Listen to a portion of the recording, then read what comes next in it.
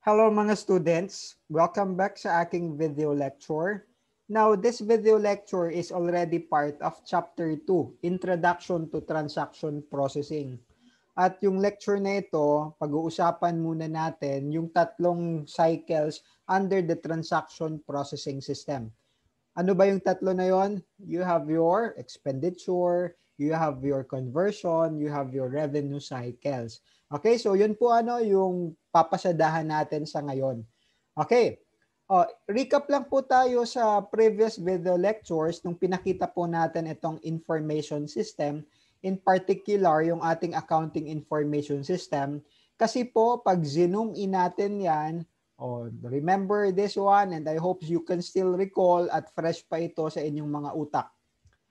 Ang focus natin dito ay yung transaction processing system because as you know, the TPS, oh, transaction processing uh, system simply TPS, no? It processes financial transactions. An economic event that affects the assets and equities of the firm. Okay? It's is reflected in its account and is measured in monetary terms. Of course, alam na po natin itong mga bagay-bagay na ito, ano? Ina-apply lamang po natin ito in a computerized setup, no? Applying information system. Now, the transaction processing will be subdivided further into these three cycles. O, ano-ano ba ang expenditure cycle, yung conversion cycle, at saka yung revenue cycle? Now, this is the overview of the transaction processing system And this presents the relationship of the three cycles, no? Your expenditure cycle here, your conversion cycle here, and then your revenue cycle here. Because believe it or not, every business, profit-based man yan or not for profit, it incurs the three types. No, they have these three types of cycle. Yung expenditure is for purchasing, no? For purchases, expenses. Makikita ninyo under the expenditure cycle, our subsystems here are purchasing slash accounts payable. You have your cash disbursements, even your payroll and fixed assets. Okay? Oh, more of paglabas ito ng pera. Sa conversion cycle, especially if you are into manufacturing companies, kinakailangan mong mag-produce, o oh, ito po yung cycle nila because this is where oh, production planning and control is affected no or and even yung cost accounting no pagmo-monitor ng ating mga labor, yung ating mga material and even the physical plant na binili natin ano coming from the expenditure cycle. And then after we have the finished goods, ano bang gagamit ano bang silbi ng finished goods? Kung hindi, ibenta. Therefore, we have the revenue cycle. And the subsystems under this cycle are your sales order processing and then the cash receipts. Okay? Meron pa po yan, yung sales order returns, no? Pero pag-uusapan natin yan later on pag nandun na tayo sa mga subsystems na yan. Okay? Now, under your expenditure cycle. Oh, please take note of this. Babasahin ko lang po para sa inyo.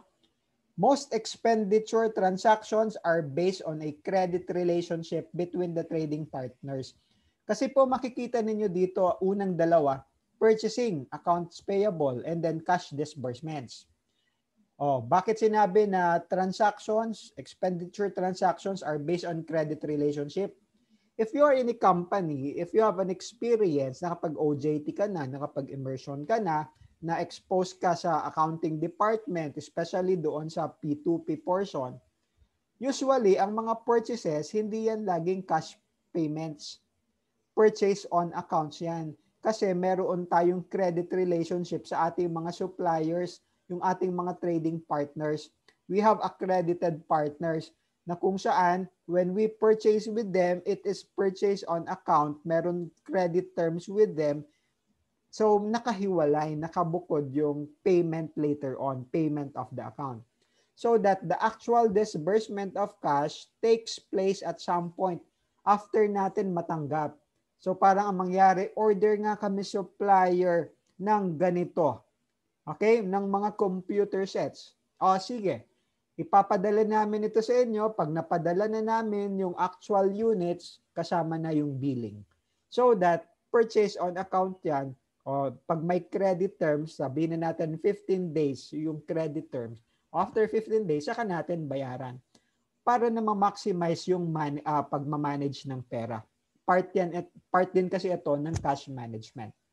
Okay? O days or even weeks may pass between these two events. Kaya nga, from a system perspective, dalawang parts yan.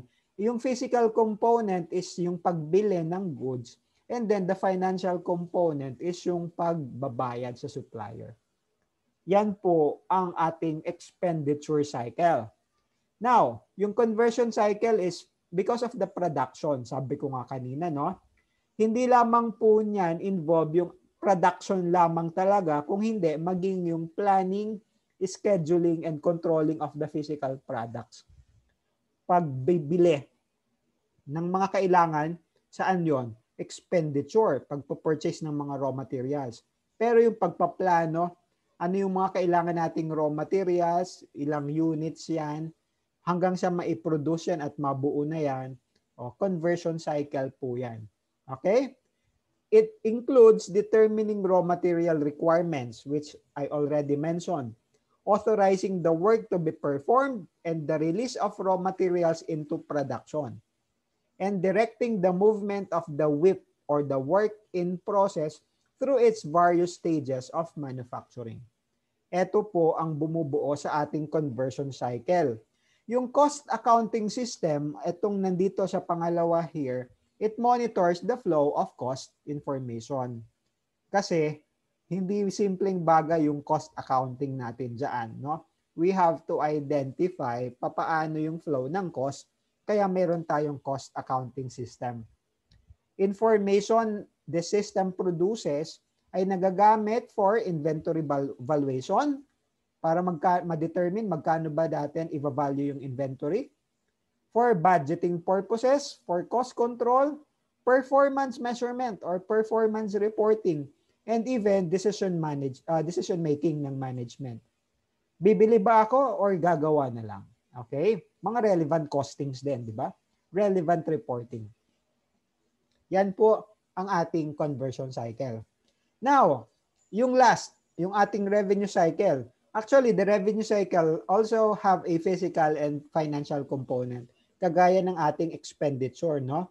Ang physical component dito sa revenue cycle is your o ano, yung pagbebenta, paglabas ng goods. Ang physical uh, ang financial component is yung pagbabayad ng customer. Pangongolekta natin ng pera. Mauna yung physical component, mai-deliver natin yung goods doon sa buyer And then later on, yung pagbabayad ng ating mga customers. That is the financial component.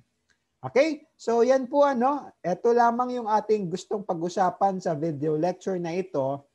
Okay? Uh, again, if you have any questions, please let me know ano, pero kung wala naman, eh, di hanggang dito muna tayo. Magkita-kita tayo sa susunod na video lecture. Until then, bye-bye.